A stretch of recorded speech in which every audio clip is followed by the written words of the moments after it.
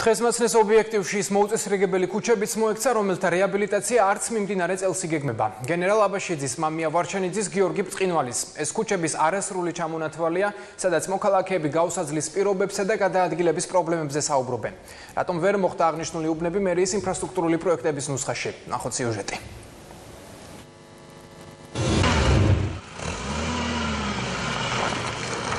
ეს გენერალ აბაშიძის ქუჩაა ორმოებით და წყლით სავსე გუბეებით ტროტუარისა და ბორდიურების გარეშე. ადგილობრივებისა და მძღოლების თქმით გზაზე მოძრაობა თითქმის შეუძლებელია და ქუჩის მოასფალტებას ითხოვენ ბევრჯერ გვიწევს აქ გავლა გამოვლა და ხო ხედავ რანაირი აქია და გარეცხავ მანქანას გამიარ მეორე წუთში უკვე გასარეცხი არის აქია და ეს ყველაფერი და ჯერდი გავლა იამები?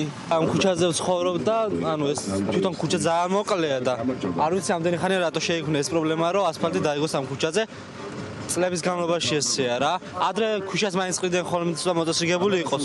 ანუ უფრო მარტივი იყო მოძრაობა და ეხლა უბრალოდ ძალიან ისეთი მდგომარეობა საშინელი. რეალურად ხალხი ვერ მოძრაობს ვერც მანქანის, ვერც ფეხით, ქუჩაც აღარა, განათებაც აღარაა და ხამით ბავშვებიც ვერ დადიან ნორმალურად, იმიტომ რომ თუ არ გაყევი, საერთოდ ქუჩა ჩაფნელებულია მთლიან ამ მონაკვეთზე და არსად აღარ დარჩა ესეთი გზა, ალბათ სოფელშიც აღარა ასეთი გზა.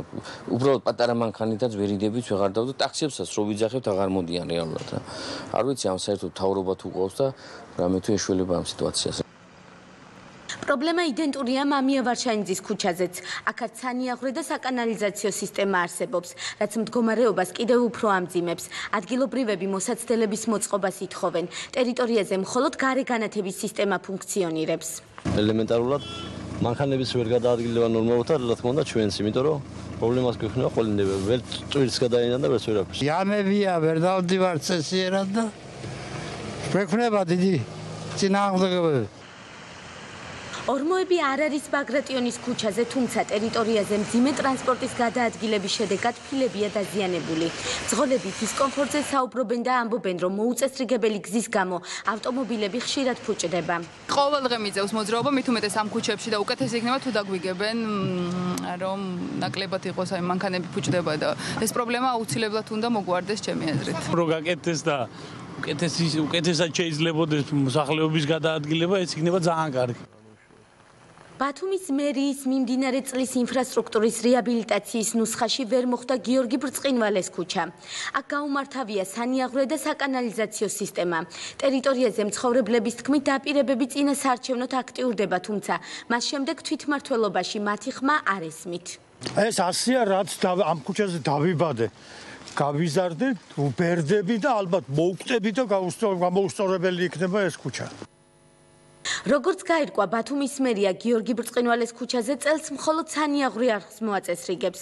შესაბამისი ტენდერი უკვე გამოცხადებულია.